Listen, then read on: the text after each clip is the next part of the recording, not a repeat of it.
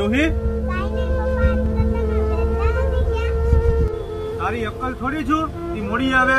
તું પેલા એ કે, જમવાનું શું બનાવ્યું?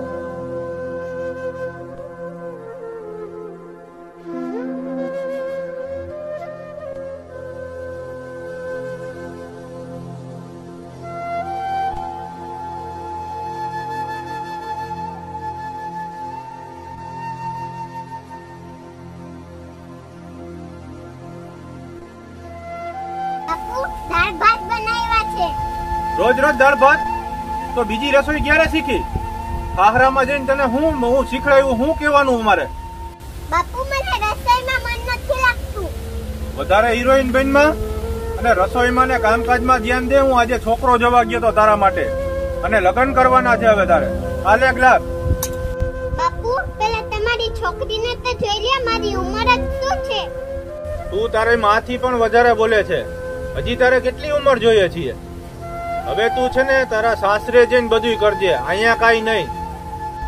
બાપુ હું કંઈક ભણી ગણીને કરવા માંગુ છું. મારા પગ ઉપર ઉભવા માંગુ છું. પગ તો તારા હું અહીંયા જ તોડી નાખીશ. એસાન મન જેથી તું જીવતી છે. બાળપણમાં તને જો આમ ગળું દબાવીને મારી નાખી હોત ને તો મારે આ અત્યારે બકબક નો સાંભળવું પડત તારું. બાપુ મેળા મારી મારીને તો માને તો મારી નાખી. હવે કેટલાકને મારવા? તું મારી સામે બોલસ? અને બહુ તારી જીબડી વધી ગઈ હે?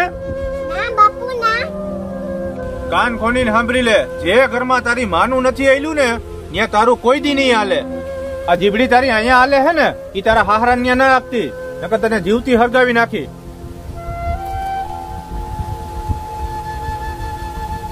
અરે ભગવાન પાસે એક દીકરો માંગ્યો તો અને શું આપી દીધું? દીકરો તો એક ઘરનો દીવો કહેવાય. છોકરાઓ ભલે ઘરનો દીવો હોય છોકરીઓ બહુ હામું બોલે છે. આ ચોપડીનો કીડો તારા મગજમાં ઘૂસી ગયો છે ને એ તું કાઢી નાખજે. આ ચોપડી અને ડિગ્રી એ બધું છે ને છોકરાઓને સારું લાગે. આ છોકરીઓને નહીં. સમજી ગઈ?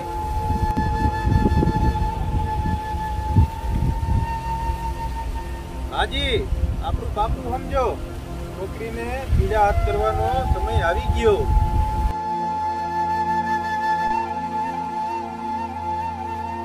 કરવા માંગુ છું. ભણી ગણીને મારે લગ્ન નથી કરવા. અરે ભણવું હોય તો ભણ. આખી જિંદગી મારી છાતી ઉપર ભાર થઈને બેસવાનું નથી. લગન તો થાશે તો કાલ ને કાલ થાશે.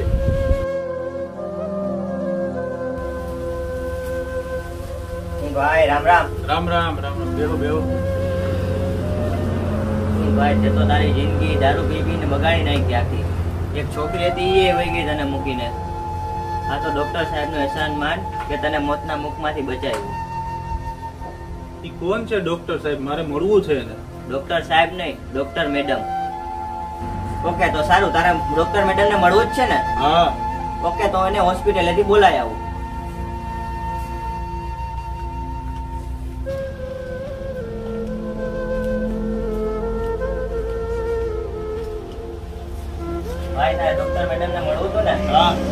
ડોક્ટર મેડમ ડોક્ટર મેડમ તમારો ખૂબ ખૂબ આભાર. તમે મારી જાન બચાવી. હું ગરીબ તમને શું આપી શકું?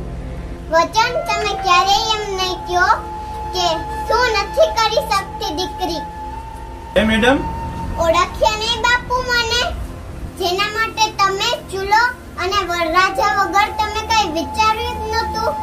બાપુ મને રસોઈમાં વધારે હિરોઈન બેનમાં અને રસોઈમાં ને કામકાજમાં ધ્યાન દે હું આજે છોકરો જવા ગયો તો તારા માટે. હે તું રૂહી છો? હા બાપુ હું એ જ રૂહી છું.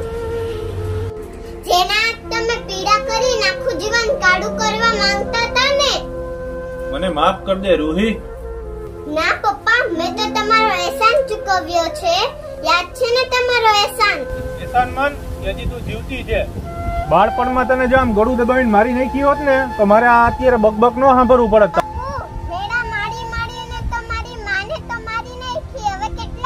રોહી મને માફ કરી દે. હું તારો ગુનેગાર છું. એસાન તો હું તારો માનું છું. સ્ત્રી અને છોકરાઓમાં ભેદભાવ કરવો એ બે આંખોમાં ભેદભાવ કરવો એ બરાબર છે. એકનું ભણવું એકનું ન ભણવું એ સામાજિક અંધકાર છે. માનું તારા જેવી છોકરીનું કે આખી જિંદગી તે કાંઈ ન માંગ્યું. માંગ્યું તોય પણ તે બરાબરીનો હક સાતું તો એ જ છે. મારા જેવો બાપ તારી બરાબરીના લાયક નથી, દીકરા. મારો વિડિયો ગમ્યો હોય તો લાઈક કરો, શેર કરો અને સબસ્ક્રાઇબ કરવાનું ભૂલતા નહીં.